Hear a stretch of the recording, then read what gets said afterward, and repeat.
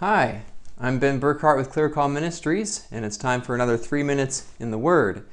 Well, I want to share a thought with you today about laziness or diligence, about making excuses or making opportunities. And there's two proverbs I want to share with you here from the book of Proverbs. Proverbs chapter 20 and verse 4. The Bible says, The sluggard will not plow by reason of the cold. Well, sluggard is an old word for lazy person. Okay, so the lazy person, the sluggard, will not plow by reason of the cold. It says, Therefore he shall beg in the harvest and have nothing.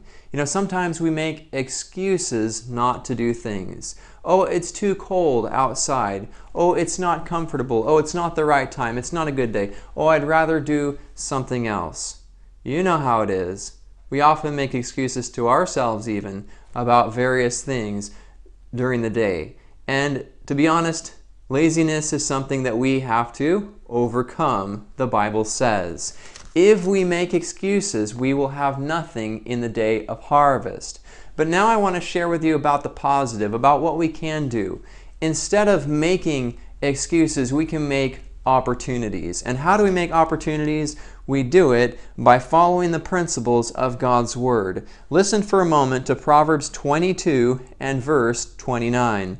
The Bible says, Seest thou a man diligent in his business? He shall stand before kings. He shall not stand before mean men. Now that means common or average men, but he will stand before kings.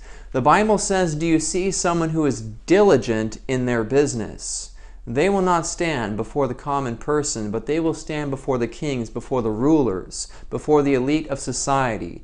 Because those who are accomplished, those who are powerful, are not looking for the average Joe. They're looking for someone who is diligent at what they do. They're looking for someone with excellence in what they do.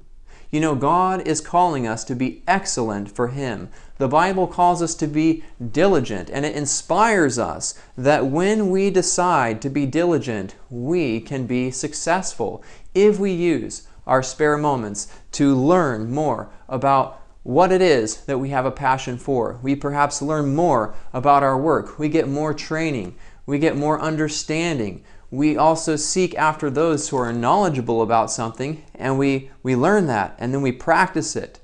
We learn to overcome laziness.